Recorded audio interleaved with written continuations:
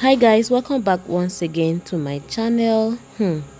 So you guys what's happening to the women factor? Why is it that ladies are now proposing to guys? It's, it has become more rampant than normal. We've been seeing videos upon videos of ladies proposing to guys. What is happening? Do we have limited men? Please so help us on the comment section.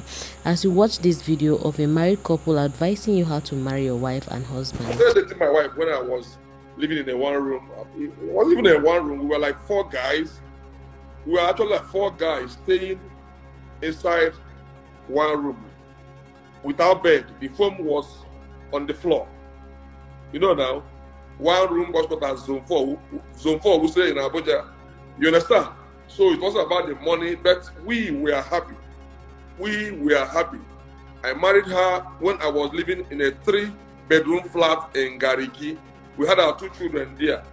We were happy. You get what I'm trying to say? Some people are very rich.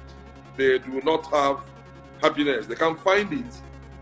But the happiness that flows with it is that we have a woman who is ready to keep the home as peaceful as possible. Because peace brings about prosperity. If you don't have peace, there's no way you can have prosperity. It doesn't happen. Money does not keep marriage. Money does not keep marriage. But money makes marriage easier. Yes, granted. Okay? Uh-huh. So most of the divorce cases, you know, in fact, the, the richer you are, the, the more tendency of you to get divorced. That is basic. So you guys, that was from Obi Cubana telling us how he met his wife Lush AB and how their marriage went through the years. So you guys learn from it.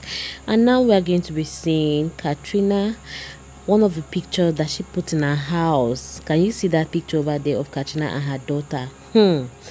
That's completely without clothes. So this is Ka3na's beautiful daughter anyway. Maybe you guys didn't see it clearly. So that's the picture over there. She refused to place the camera on it. But why would she put such a picture in her house, guys?